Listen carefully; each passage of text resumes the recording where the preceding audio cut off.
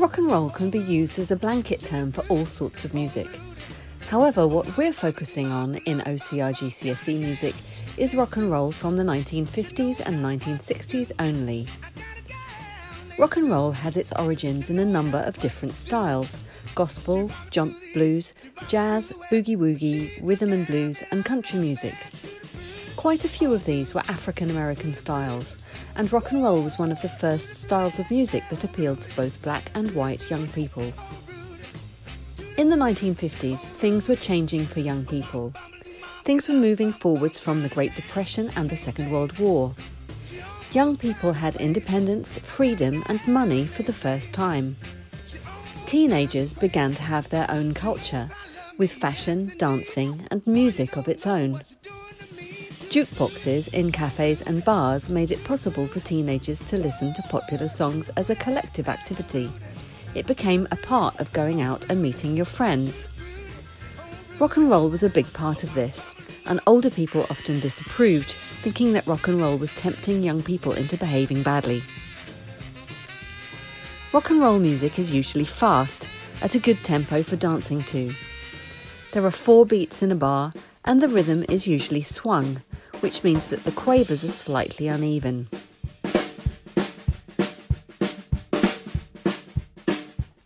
The drum beat is usually quite simple, with a strong backbeat on beats 2 and 4, played on the snare drum.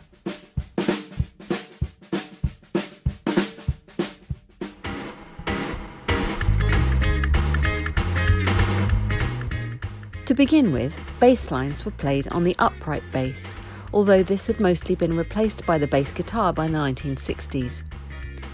Bass lines were often walking basses, based on the notes of the chords, with a note on every beat, or played in a repeating pattern.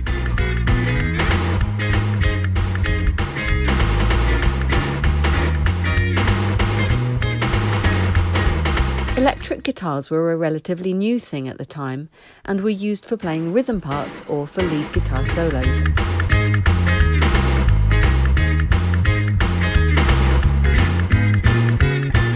singer takes the main tune, except for when there's a guitar solo. Rock and roll singers were usually male. There may be backing vocals, and there may also be a piano. Now we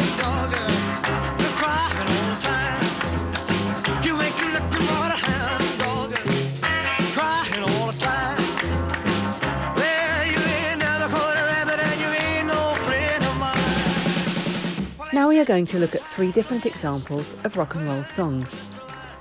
Elvis Presley recorded Hound Dog in 1956, although the song had been written four years earlier and had actually been recorded by more than 200 different artists.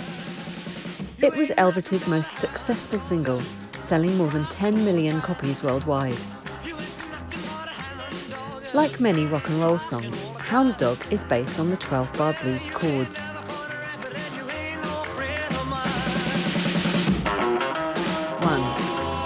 One, one, one, four, four, one, one, five, four, one, one.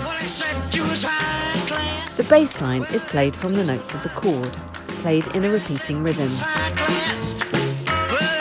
The melody is based on the blues scale, with the blue notes giving it a jazzy soulfulness. The melody is also quite repetitive, which helps make it catchy. The texture can best be described as melody and accompaniment. Structurally, there are sung verses and guitar solos, following the 12 bar chord pattern. One, two, three o'clock, four o'clock, rock. Five, six, seven o'clock, eight o'clock, rock.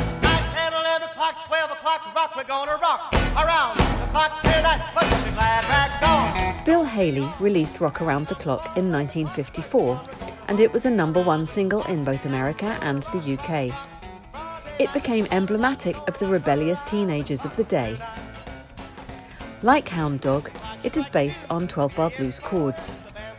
The bass line is a walking bass, based on the notes of the chords with one note per beat. The vocal melody is again based on the notes of the blues scale and is simple and repetitive.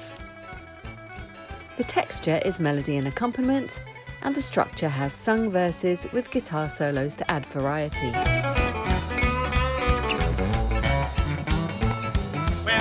Each section of the song fits with the 12 bar chord pattern.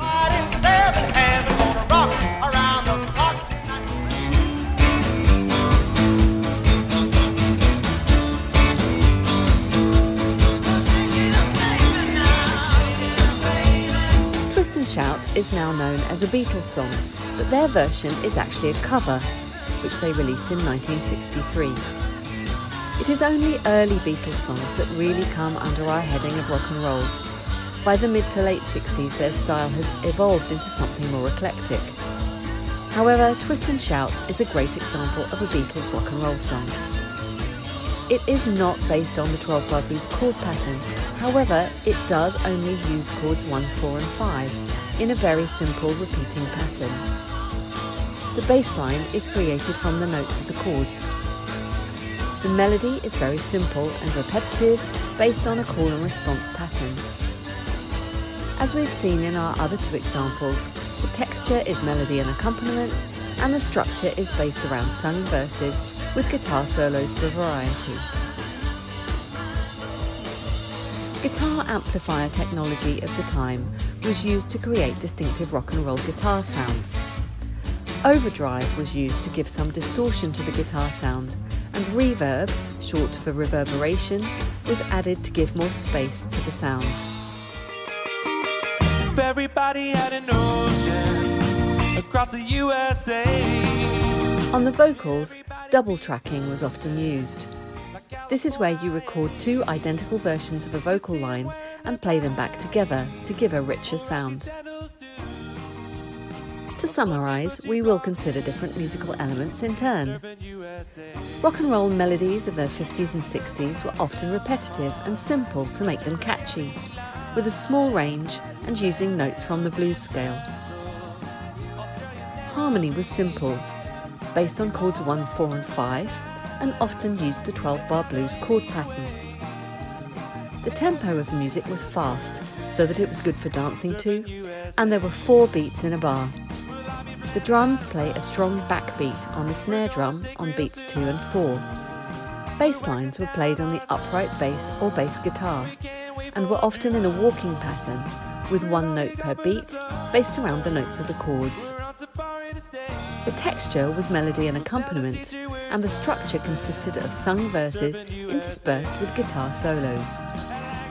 Use of technology included overdrive and reverb on the guitars and double tracking on the vocals.